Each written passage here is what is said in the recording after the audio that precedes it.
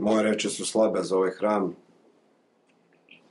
pre svega i za današnji praznik, posvećen velikim apostolima.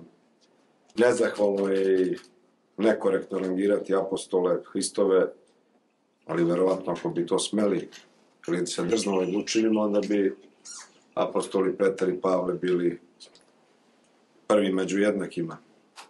Petar, koji je kao stena učvrstio veru Hristovu i crkvu Hristovu, i Pavle, čije, odnosno ime njegovo etimološki znači mali, mali pred Bogom, pokazujući svu veličinu jednog čoveka, razumijevajući šta znači poslušnost, da poslušnost nije slabost, nego vrlina i snaga jednog čoveka.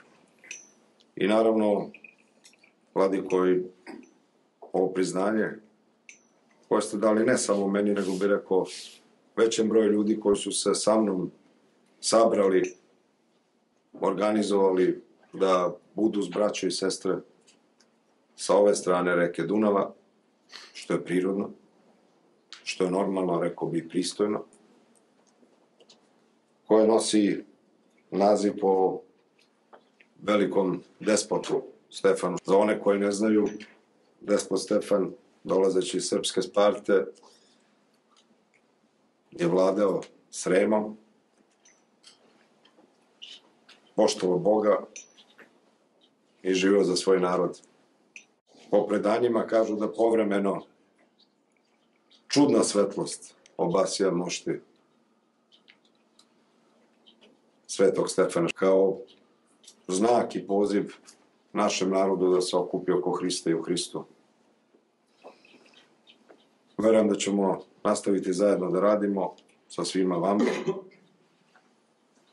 na očuvanju našeg nacionalnog, kulturnog, političkog identiteta, što je ljudsko i prirodno pravo svakog naroda i svakog pojedinca, čuvajući individualna, ali i kolektivna prava.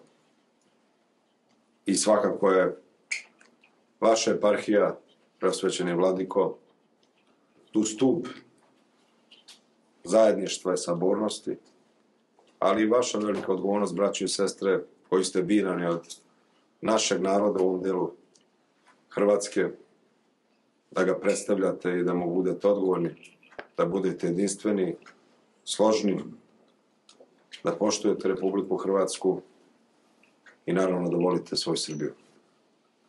Svi vam čestitam ovaj veliki praznik i nadam se vladi koja će biti dostojan ovog priznanja vaše partijnosti.